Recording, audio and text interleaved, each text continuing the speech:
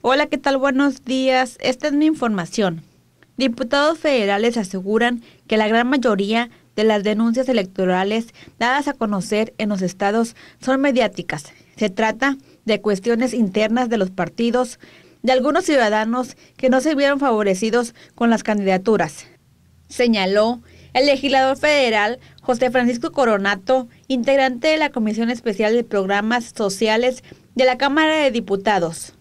Señaló que durante el recorrido por nueve entidades de las 14 que en estos momentos viven un proceso electoral, se han presentado alrededor de 250 quejas, pero todas han sido en ese tenor, ninguna vinculada a los programas sociales. Se han recepcionado quejas en contra de eh, los mismos partidos políticos. En algún lugar nos llamaba la atención que por la paridad, porque no se había dado el respeto a la mujer en el número que correspondía.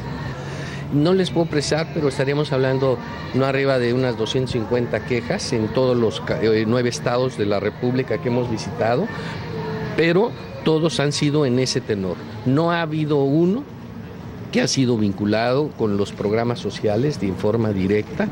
Para el Grupo Mi Radio, Jessica Guerrero.